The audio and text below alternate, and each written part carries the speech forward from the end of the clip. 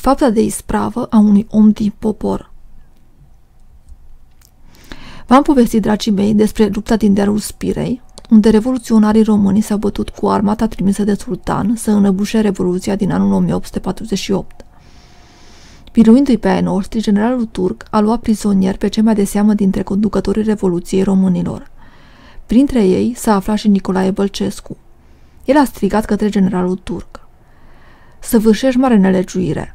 Sugrum libertatea unui popor. Îi calci în picioare drepturile.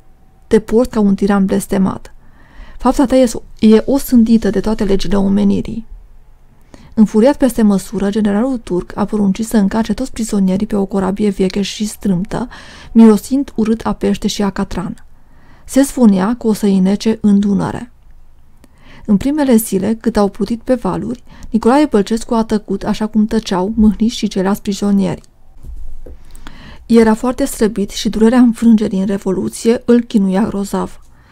Dar în zilele următoare s-a mai întremat.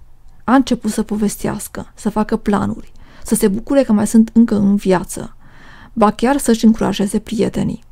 Să nu deznădăjduim fraților. Dacă scăpăm din prinsoarea turcilor, trecem în Transilvania, o ne unim cu Avram Iancu și pornim iară Revoluția cu și mai mare avânt. Când corabia a ajuns la o insulă în mijlocul Dunării, străjerii turci au coborât prizonierii pe uscat și i-au închis în beciurile cetă- cetății de acolo. Tot mai crezi că vom scăpa și vom aprinde ea revoluția? L-a întrebat prietenul Constantin Alexandru Rosetti, răpus de desnădește.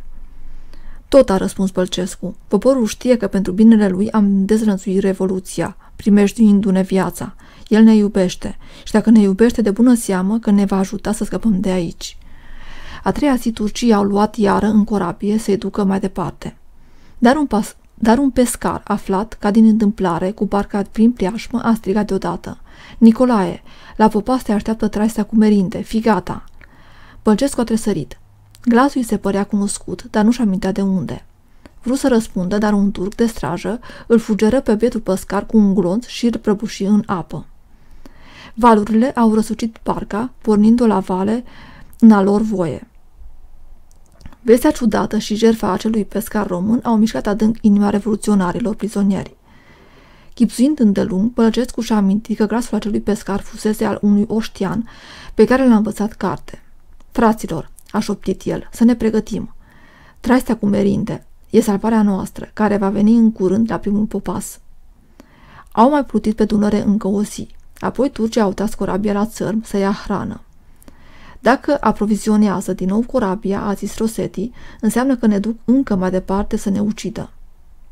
Dar abia s-a sfârșit cuvântul că, deodată, de pe țărm, din umbra unor sălci, au sășnit vreo zece bărbați armați.